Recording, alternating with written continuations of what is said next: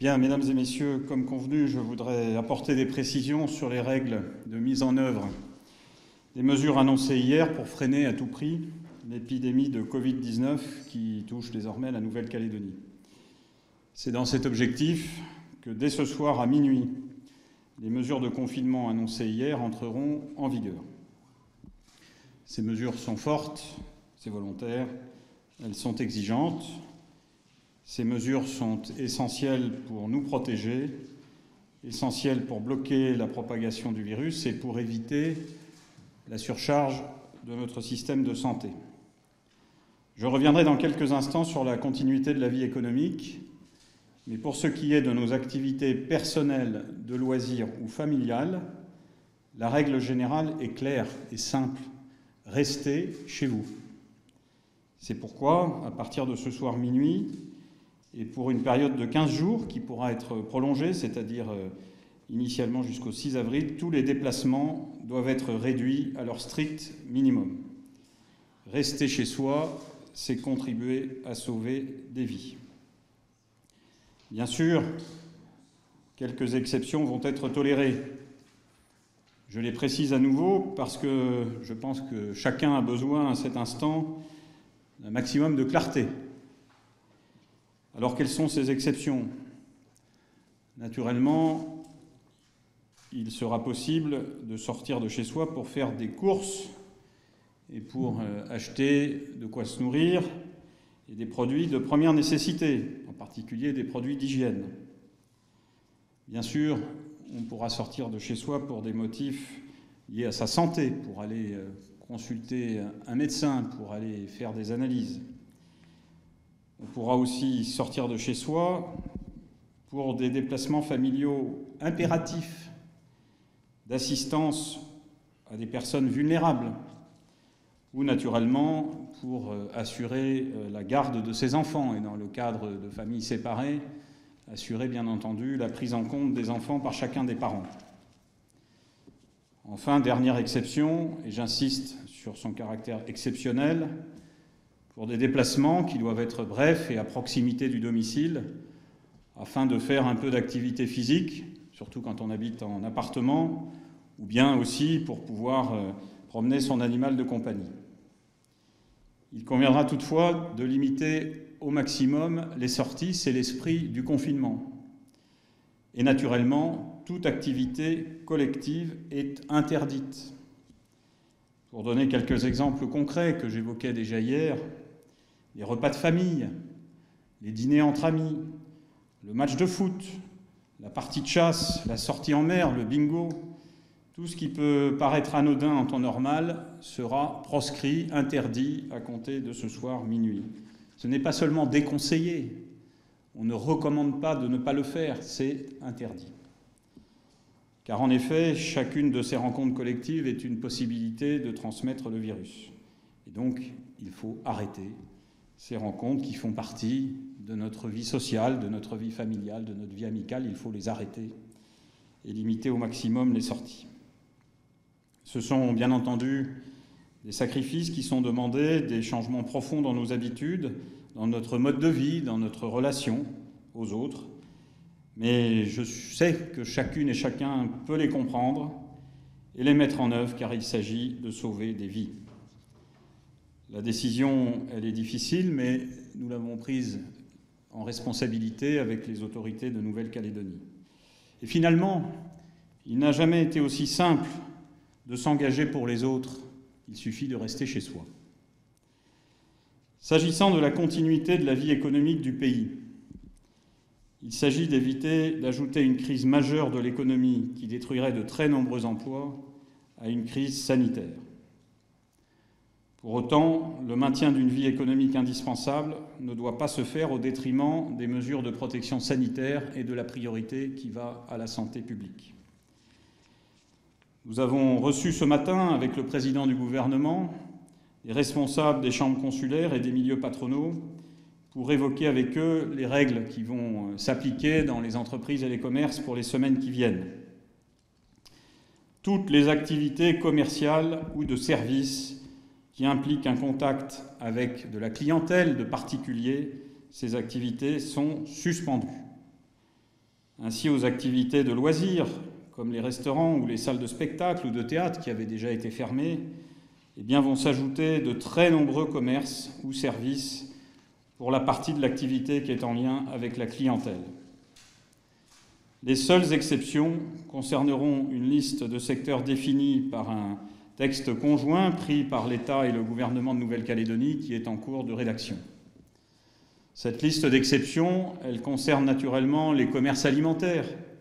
Il va bien falloir continuer à se nourrir. Les professions médicales, il faut bien se soigner. D'autres encore. Nous avons travaillé sur cette liste de 28 secteurs avec les professionnels jusqu'à tard ce matin. Bien entendu, lorsque, dans le cadre de ces secteurs autorisés, des commerces vont rester ouverts, il faudra respecter les mesures barrières dans ces commerces et en particulier la distance de sécurité entre deux clients.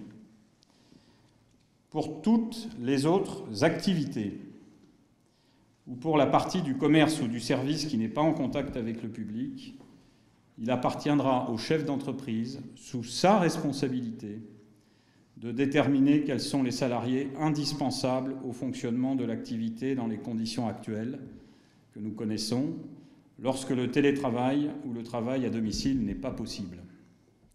Je prends des exemples. Nous avons ici des usines qui fabriquent des produits alimentaires ou des boissons. Elles doivent bien entendu continuer à fonctionner. Nous avons des usines métallurgiques dont le maintien en fonctionnement est important. Il faut aussi continuer à produire et à distribuer l'électricité, produire de l'eau potable, à ramasser et à traiter les déchets. Et puis, il faut aussi pouvoir continuer à traiter le fret qui va arriver, qui va nous apporter de l'alimentation, qui va nous apporter des produits sanitaires. Tout cela, il faut continuer à le débarquer et ensuite à le livrer. Je prends aussi un autre exemple tiré d'une question reçue ce midi. Une agence de voyage, par exemple, ne pourra plus recevoir de clientèle en revanche, si la présence de salariés est indispensable pour gérer la situation de clients en situation d'urgence, eh bien, le chef d'entreprise pourra le prévoir.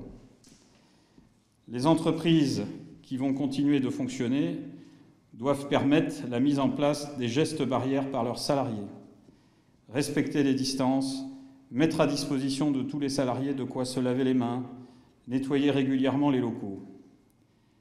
Ces dispositions sont très contraignantes pour certains secteurs, en particulier pour le BTP, où, avec la branche professionnelle concernée, un gros travail de mise en place de ces règles s'impose et va peut-être demander un peu de temps.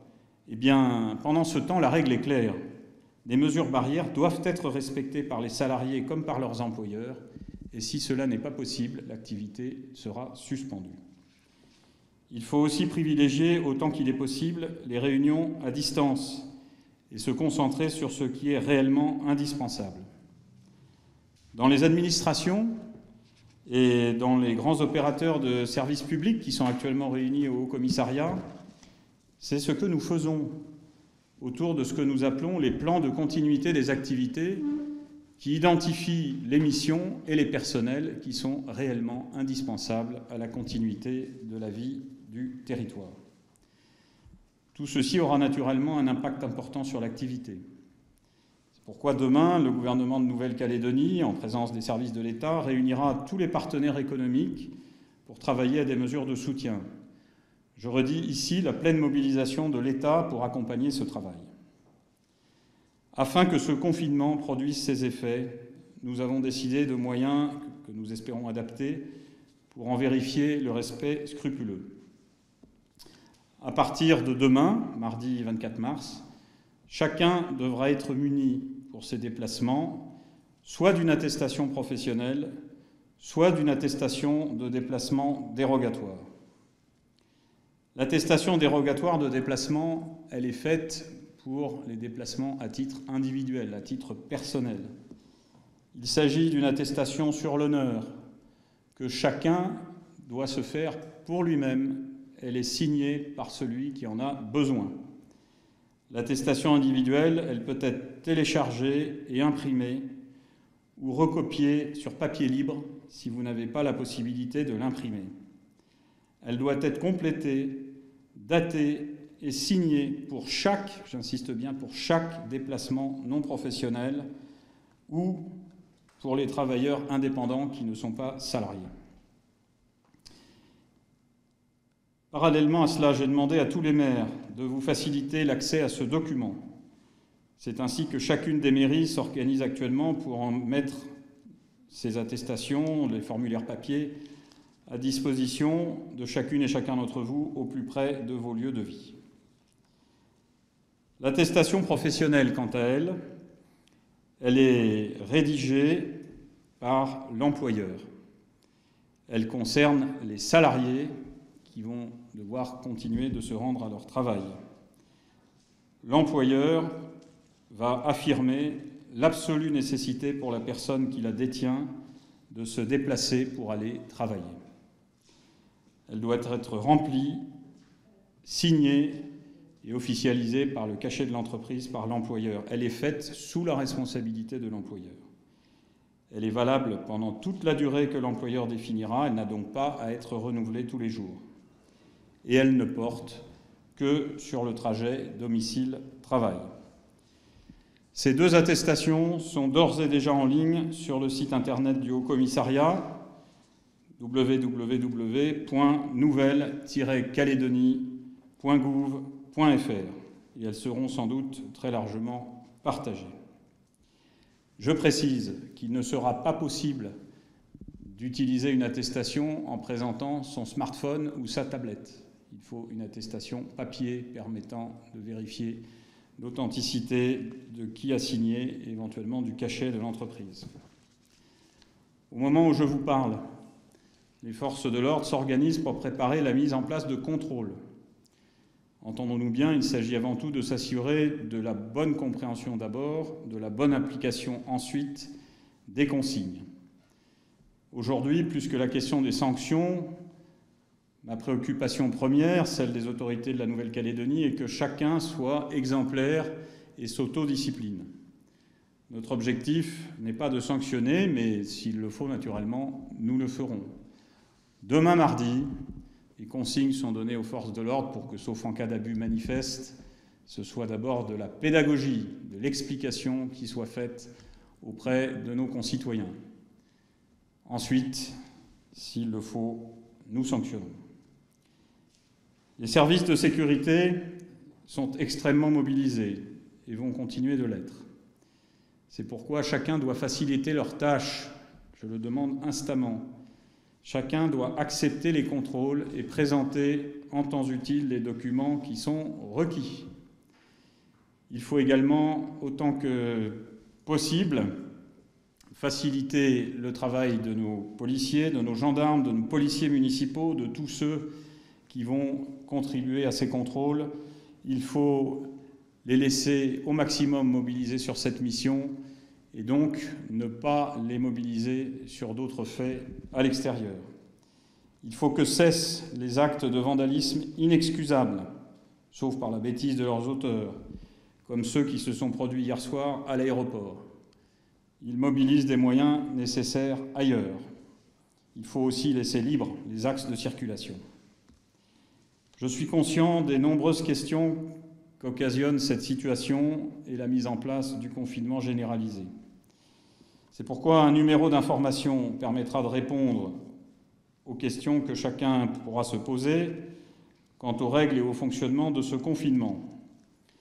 Ce numéro, le 26 63 26, 26 63 26, est actif d'ores et déjà il le sera aussi longtemps que nécessaire. Il sera ouvert 7 jours sur 7, de 6h à 16h. Toutes les informations concernant les particuliers sont également mises en ligne sur le site internet du Haut Commissariat et sur les réseaux sociaux.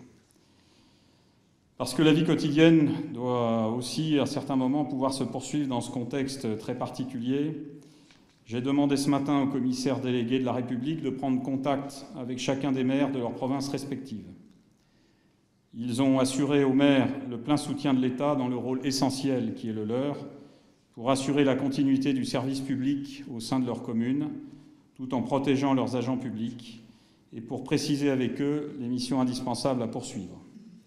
L'État est naturellement pleinement aux côtés des collectivités dans ce moment difficile. Avant de terminer, j'insiste une fois de plus, au-delà du confinement, sur l'impérieuse nécessité de respecter les gestes barrières et d'éviter les contacts.